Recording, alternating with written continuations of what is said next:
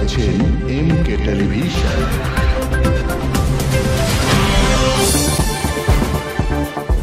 আসসালামু আলাইকুম। এমকে টেলিভিশনের নিয়মিত সংবাদে আপনাদের স্বাগত জানাচ্ছি আমি এস রহমান।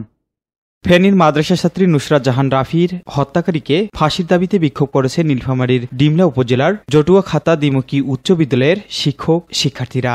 শনিবার বিকালে বিদ্যালয় চত্বর থেকে একটি বিক্ষোভ মিছিল নিয়ে গুটিবাড়ি বাজারে গিয়ে মানববন্ধন করে। মানববন্ধনে বিদ্যালয়ের শিক্ষক, শিক্ষার্থী ছাড়াও সাধারণ মানুষ অংশ নেন।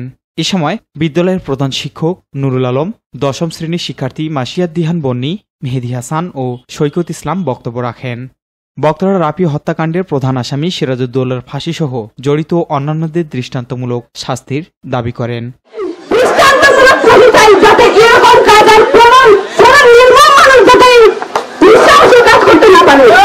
এমন দৃষ্টান্ত বড় শাস্তি চাই এটা ভবিষ্যতে কেউ এরকম কাজ করে আনলে তার গা শিরে ওঠে।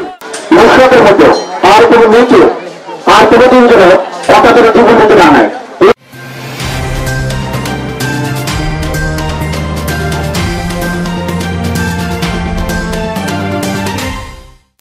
পরবর্তী সংবাদ দেখার আমন্ত্রণ জানাচ্ছি এস রহমান এমকে টেলিভিশন।